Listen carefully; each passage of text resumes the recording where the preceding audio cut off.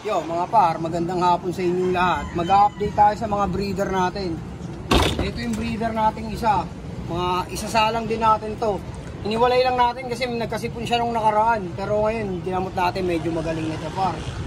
Yan. Pero hindi pa natin isasalang yan. Sisiguraduhin natin wala siyang sakit bago natin siya isalang.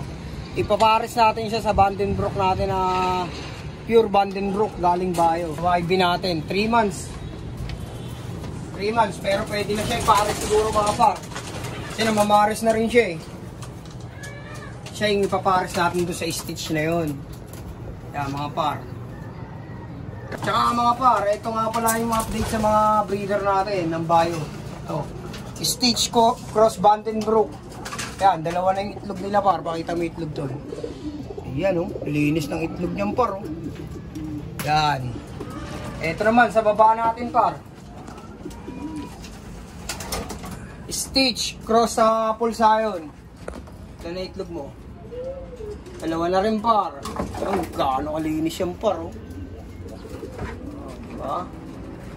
At ito mga par, Waterhouse Begard. Wala pang itlog. Wala pa silang itlog. Waterhouse Begard yan, tsaka Johnson. Ito, Black Eagle, tsaka White Scion. Wala pa rin itlog. Pero mag-iitlog na rin yan. Nag-ano na, umupo na sila. Halos sabay-sabay lang yan sila mga par. At ito nga pala yung mga first clutch ng bio natin, na bagong pares natin sa kanila. Pero lahat to galing bio mga par. Yan. Ito, stop band rate, cross Vandenbroek. Ito sa baba, Pulsayon, cross size stitch. Ito naman, Waterhouse Begard, cross sa Jansen. Ito, White Scion, cross sa Black Eagle.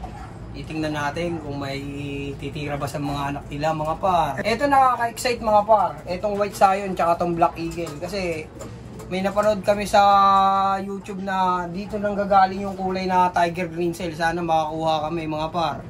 Yun lang mga par, ang, yan ang update sa ating mga breeder sa Bio Research, Bio Pigeon.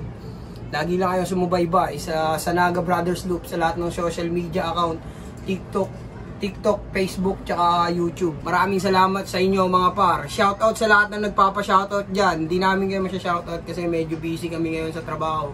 Yun lang mga par. Yeah, peace and out. Oh!